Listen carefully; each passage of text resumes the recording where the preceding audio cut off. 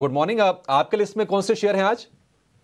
Very good morning everyone so overall अगर हम market की मार्केट में देखें तो जो स्मॉल कैप और मिड कैप काउंटर है वो कंटिन्यू परफॉर्मेंस दे रहे हैं। और साथ ही साथ प्रीवियसली हमने देखा था कि जो शेयर्स आउट परफॉर्म कर रहे हैं वो कहीं ना कहीं अपने प्रीवियस ब्रेकआउट के आसपास वापस अपने बुलिश रेंज के अंदर आ रहे हैं। तो हमारी तरफ़ से दो शेयर है, पहला रहेगा ABB capital ABB sorry ABB का अगर हम चार्ट देखें तो डेली चार्ट के ऊपर क्लियर कट फॉलिंग चैनल और फॉलिंग ट्रेंड लाइन ब्रेकआउट हमें देखने को मिल रहा है। साथ ही साथ आप देखोगे तो स्टॉक काफ़ी दिनों से अपनी short term moving average twenty days moving average के नीचे ट्रेड कर रहा था। अब कहीं ना कहीं ट्वेंटी डेज़ मूविंग एवरेज के ऊपर है, और कल हमने देखा विथ वॉल्यूम उसने फिफ्टी डेज़ मूविंग एवरेज को भी रिटेस्ट किया है। और जिस तरह से इंटरडे चार्ट हम देख रहे हैं तो वहाँ पे भी एक राउंडिंग बॉटम पैटर्न हमें एबीबी के ऊपर देखने को मिल रहा है। सो कहीं ना कहीं एबीबी हम लॉन्ग कर सकते हैं। 4200 के आसपास की क्लोजिंग हम लॉन्ग करके जाएँगे। 42 60 तक के हमारे टारगेट रहेंगे और 4180 एज अ स्टॉप लॉस हम एबीबी में मेंटेन करेंगे। दूसरा जो स्टॉक है वो एनबीएफसी बेस से कैनफिन होम कैनफिन होम अगर आप देखोगे तो काफ़ी अरसे से एक रेंज के अंदर चल रहा था। ऊपर में आप देखोगे तो 770 का उसका रेजिस्टेंस था, नीचे में आप देखोगे तो 750 760 का उसका सपोर्ट था। तो ये 10 से 20 रुपए की रेंज में काफ़ी टाइम से ये कंसोलिडेट हो रहा है। लास्ट दो दिन से देख रहे हैं कि कंटिन्यूसली स्टॉक 770 के ऊपर क्लोज दे रहा है। साथ ही साथ उसको सभी इंपॉर्टेंट मूविंग एवरेज का क्लस्टर रेजिस्टेंस था। उसके ऊपर भी कंफर्टेबली क्लोज दे दिया है। इंटरडे चार्ट्स के ऊपर यहाँ पे भी एक राउंडिंग बॉटम पैटर्न हम देख रहे हैं। तो कहीं ना कहीं कैंफिन होम भी तैयार हो रहा है यहाँ से एक अच्छी रैली देने के लिए। तो कैंफिन होम 775 के आसपास की क्लोजिंग भी हम लॉन्ग करके जाएँगे। 799 का हमारा टारगेट रहेगा and 764 as a stop loss हम मेंटेन करेंगे। तो एबीबी एंड कैंफिन होम आज के लिए हमारे दो तो ऑर्डर रहेंगे तरफ़ से ए है और कैनफिड होम्स में से ए ज़्यादा अच्छा है अगर आप देखेंगे। ये ना केवल कल ठीक था बल्कि परसों भी ठीक था। किरण कल हम इसको शेयर को लेना चाहते थे बट किसी वजह से हम इसके वॉल्यूम वॉल्यूम को चेक करके हमने नहीं लिया। लेकिन कल का क्लोजिंग भी इसकी ठीक मिली आज आप इसको नोटिस करवा रहे हैं। अच्छा पॉइंट है ये फोर टू सिक्स ज़ीरो आपका टारगेट है फोर वन एट ज़ीरो का स्टॉप लॉस है। कैनफिन होम्स थोड़ा रुका हुआ शेयर है बट उम्मीद करते हैं कि आपके बोलने के बाद थोड़ा ये चलने लग जाएगा। विशाली पारिक और आयुष मेहता भी इस बीच मेरे साथ जुड़ चुके हैं। आयुष तो आ, शादी के बाद आज पहली बार लगता है हमारे साथ शो कर रहे हैं। आयुष ठीक है ना? Thank you good morning all of you काफ़ी अच्छी फीलिंग है। uh, मैंने एक बार पहले किया था तब आपसे नहीं मिल पाए थे। आपकी बर्थडे का था वो बट आपकी आप नहीं थे उस टाइम पे।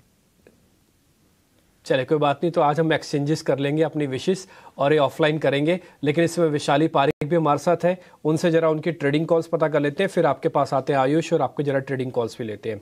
विशाली गुड मॉर्निंग आपके आज की ट्रेडिंग कॉल्स सो so, आज के लिए मैंने चूज़ किया है एक तो आर आर केबल बिकॉज़ कल से हम देख रहे हैं थोड़ा वॉल्यूम पिकअप हो रहा है थोड़ी स्ट्रेंथ uh, दिख रही है।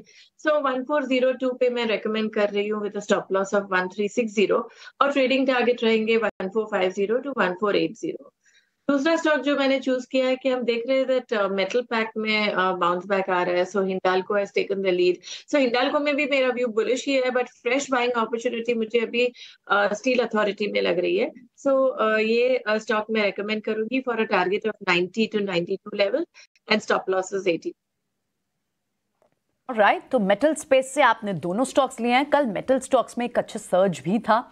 डॉलर इंडेक्स थोड़ा सा कूल ऑफ़ हुआ है और ठीक है, ये दो स्टॉक्स वैशाली की तरफ़ से, आयुष से भी समझ लेते हैं। Ayush morning and many many congratulation बताएँ आज आपके ट्रेडिंग आइडियाज़ क्या होंगे? Thank you good morning all of you मेरे यहाँ से दो बाय कॉल होंगे। फ़र्स्ट होगा मेरा टाटा केमिकल्स पे। अगर हम टाटा केमिकल्स की डेली चार्ट की बात करें तो स्टॉक ने बहुत ही अच्छा अपना इनसाइड कैंडल का स्टॉक ने ब्रेकआउट दिया है। मंथली चार्ट में बात करें तो अपने स्टॉक से सपोर्ट ने एक रिवर्सल पॉइंट देखा है प्लस इंट्राडे में इसने क्लस्टर रेजिस्टेंस का ब्रेकआउट दिया है। तो टाटा केमिकल को मुझे लगता है यहाँ से मैं बाय करना चाहिए for a target of one zero one zero यहाँ पे जो आपका स्टॉप लॉस बन जाएगा सपोर्ट पॉइंट का वो नाइन फिफ्टी फोर का होगा। सेकंड स्टॉक होगा मेरा डालमिया भारत। डालमिया भारत में इंटरेस्टिंग डेटा ये बन के आ रहा है, इसने अपने एक ट्रेंड लाइन का सपोर्ट लिया है और वहाँ से उसने उसको रीटेस्ट करके वापस रिवर्सल दिखाया है। प्लस अपने 200 डे मूविंग एवरेज का सपोर्ट लेके स्टॉक ने ऊपर की तरफ़ मूव किया है और एक आरएसआई में पॉजिटिव क्रॉसओवर हमें देखने मिला है। तो हमें डालमिया भारत को यहाँ से बाय करना चाहिए for target of twenty two forty यहाँ पे जो हमारा स्टॉप लॉस होगा वो टू ज़ीरो फोर ज़ीरो का होगा। बताएँ, आज सारा सेटअप हमने जो समझा इंडेक्स का, उसमें आप आज पिक कैसे करेंगे ट्रेड अगर फ्लैट खुलता है बाज़ार तो क्या खरीदारी के मौके ढूँढने चाहिए? Good morning to all yes basically market अभी का जो हम मार्केट देखते हैं तो एक आपका एक इंटरनल फैक्टर होता है, दूसरा एक आपका एक्सटर्नल फैक्टर होता है। तो मार्केट के इंटरनल फैक्टर को अभी हम देख रहे हैं तो इतना कोई स्ट्रॉन्ग इंडिकेशन नहीं है। मीन्स लेट से कि जो मार्केट अभी के तीन से चार दिनों में मार्केट इतना बड़ा हुआ तो वहाँ पे कोई एक स्ट्रॉन्ग लीडरशिप या फिर कोई हैवी वेटेड काउंटर चला है, वैसा नहीं it is based on the short covering और अभी का जो मार्केट है it is in kind of the macro link जिस हिसाब से यूएस मार्केट्स में और इक्विटी मार्केट में बॉन्ड्स मार्केट में जिस तरह से डेवलपमेंट हुई है क्रूड ऑयल थोड़ा स्कूल ऑफ़ हुआ है तो इसकी वजह से मार्केट में अपसाइड मोमेंटम आया हुआ है। मार्केट एक अच्छे पॉजिटिव मोमेंटम में तो है लेकिन 19,400 एक माइल्ड रेजिस्टेंस लेवल है लेकिन अल्टीमेट रेजिस्टेंस इसका 19,500 का बनता है। तो मार्केट इंटरनली वीक है लेकिन एक्सटर्नल फैक्टर से अभी मार्केट में अच्छा सा एक मोमेंटम चल रहा है। तो मार्केट का मैं यहाँ पे नेक्स्ट बेस जो रेजिस्टेंस देख रहा हूँ वो 19,500 के यहाँ पे आता है और वेरी शॉर्ट टर्म क्योंकि अभी तक कोई रिवर्सल साइन मुझे देखने नहीं मिला है तो अंडरलाइन टोन में मार्केट का पॉजिटिव रखता हूँ with a very short term trailing stop loss at nineteen जो कि कल के दिन का लो बना था, दो बार मार्केट में टेस्ट करके ऊपर में मूव किया हुआ था। तो मार्केट का ये ब्रॉडर एक असेसमेंट है और स्टॉक स्पेसिफिक मैं अगर यहाँ पे बात करता हूँ तो स्मॉल कैप स्टॉक्स ने काफ़ी अच्छा परफॉर्म किया और with in the small cap also small cap 50 जो है, वहाँ पे हमें अच्छी खासी बढ़ोतरी देखने मिली है। तो मेरा एक पहला पिक स्मॉल कैप से ही रहेगा। दैट इज़ बीकाजी बीकाजी एक राउंडिंग पैटर्न का ब्रेकआउट दिया हुआ है रिटेस्ट किया हुआ और वहाँ से हमें एक अपसाइड मोमेंटम देखने मिला हुआ है। तो 498 का लेवल है अभी तो यहाँ से बाय बनता है 490 का स्टॉप लॉस है, और 520 का हमारा टारगेट देखने मिलेगा। तो ये काफ़ी शॉर्ट टर्म कॉल है। दूसरा जो मेरा पिक रहेगा, वो थोड़ा सा डिफेंसिव होगा, क्योंकि मार्केट ऑलरेडी काफ़ी अच्छा चल चुका है, और नॉर्मली हमने देखा है कि मार्केट जब ये एक्सटेंड हो जाता है, जो बैक सीट पे जो स्टॉक्स होते हैं यार बैक सीट पे जो सेक्टर्स होते हैं लाइक फार्मा जो एक डिफेंसिव प्ले करते हैं तो यहाँ पे मुझे अल्केम करके स्टॉक आइडेंटिफाई करता हूँ। अल्केम की लिस्टिंग 2016 से हुई थी। 2016 से लेकर 2023 तक इस स्टॉक में छह से सात बड़े बड़े करेक्शन आए हैं। एवरी करेक्शन वॉज़ तीस से पैंतीस परसेंट की रेंज में था।